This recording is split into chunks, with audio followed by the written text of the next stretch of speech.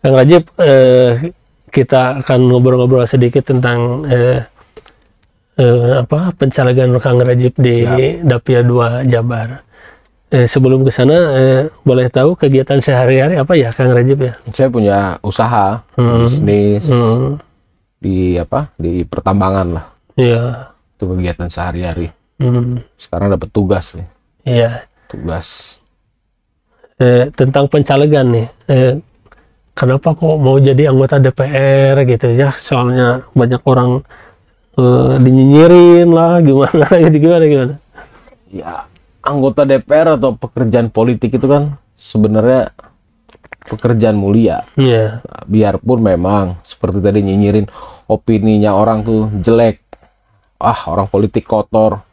Bagi saya itu bukan bukan politik ya yang kotor. Semua pekerjaan juga bisa iya. kotor. Mau jadi pengusaha bisa ya kotor. Hmm. Jadi politikus juga bisa kotor. Semuanya kan bukan wadahnya yang salah. Itu kan lebih ke personnya lah. Jadi ya itu kita harus menghilangkan itu juga. Tidak semua politikus atau politik atau jabatan publik itu kotor. Iya, iya. Kenapa masuk ke Nasdem dan kenapa Anda eh, masuk ke Dapia 2 Kabupaten Bandung, Kabupaten Bandung Barat? Terkait dengan Jawa Barat 2. eh, eh, Dapia 2 gimana tuh? Ya, Jawa Barat 2 ini ini agak sedikit lucu sebenarnya. Dulu kira-kira waktu musim pilkada ya. Hmm. Itu bera- berangkat dari sana. Waktu musim pilkada, Partai Nasdem ini kan partai pertama. Dan karena Nasdem lah hari ini yang bupati yang namanya Dadang Supriyatna itu bisa jadi bupati. Ya, Karena kan kita tahu partai lamanya tidak tidak mendukung, kasih dukungan Iya. ke yang lain. Nah, di situ akhirnya saya ke Soreang. Ke Jawa Barat dua lah. Iya. Kalau Lembang, mana-mana kan ya kita belum di politik dari zaman kecil juga udah udah sering, Sering ya. main ke Udah sana, sering. ya. Nah, ya saya lihat saya datang ke Kabupaten Bandung, saya jalan-jalan, saya lihat ya, waktu pilkada nih, tapi bukan ikut kampanye pilkada, cuman ya saya main-main aja saya lihat. Karena kan secara kursi besar ya, ada 10 kursi kan, penduduknya cukup banyak. Ya, captive marketnya juga cukup bagus dan saya lihat di data ini peluangnya tinggi karena 60% masyarakatnya itu tidak kenal sama anggota dewannya. Nah, bagi saya ini adalah market Hmm. ya satu it- itu terus ya deket juga kan ke Jakarta kan kita mondar mandirnya juga kan enak 2 sampai 3 jam jadi ya kalaupun penting pulang pergi aja cukup itu sih Anda kan tentu sudah beberapa tahun ini berinteraksi dengan warga Kabupaten Bandung, Kabupaten Bandung Barat. Dari hasil belusukan itu apa sih yang didapatkan dari mereka? ya yang pertama karena mereka tahu saya itu adalah caleg Hmm. pertama pasti begini Pak kalau jadi jangan lupa Hmm. Pak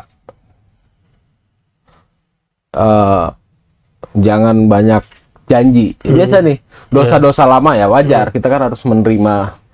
Terus Pak kesehatan kami rendah. Bahkan kami membayar ambulan RSUD punya ambulan aja kami tidak mampu. Nah, jadi banyaklah begitu mengenai pendidikan, isu pendidikan, isu-isu lain ya, pendidikan, kesehatan, jalan, banjir. Ya isu-isu klasik aja sebenarnya yang harusnya sebenarnya udah bisa selesai ya. Bayangan Anda tentang Kabupaten Bandung dan Kabupaten Bandung Barat sekarang seperti apa? Setelah Anda jalan-jalan, Anda lihat segala macam.